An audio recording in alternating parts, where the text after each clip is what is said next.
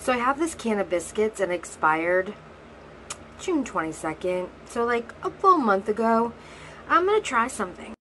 So I took the dough and I cut it in half. And I was like, what else do I have, you know? I found the cheese in the fridge and I was like, yes, I have this leftover from my salads. Got it at Aldi. And then I was like, I can put this cheese inside this dough, make a little ball. And then I took the Crisco original spray. This was like a clearance spray. I got it for like 90 cents. And I sprayed the inside of the base of the air fryer because I don't want it to stick. I preheated the oven to 350 because I didn't realize I was going to put butter over it until later on. So see, I decided I'm going to take two tablespoons of butter and then I put all of my little balls inside the air fryer base. Chewy, get down, honey.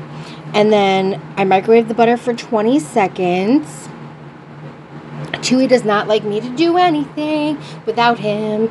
Garlic powder into my butter. And I also put the Italian seasoning.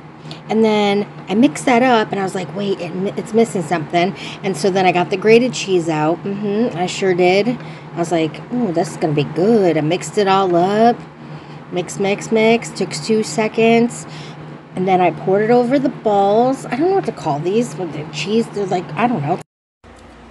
This took exactly 10 minutes. Tell me that doesn't look yummy. Let's see if it tastes yummy. Just kidding. They're still kind of raw on the bottom, so I'm going to flip them over and put them in there for a couple more minutes. So I made a little more butter sauce. Look at how yummy.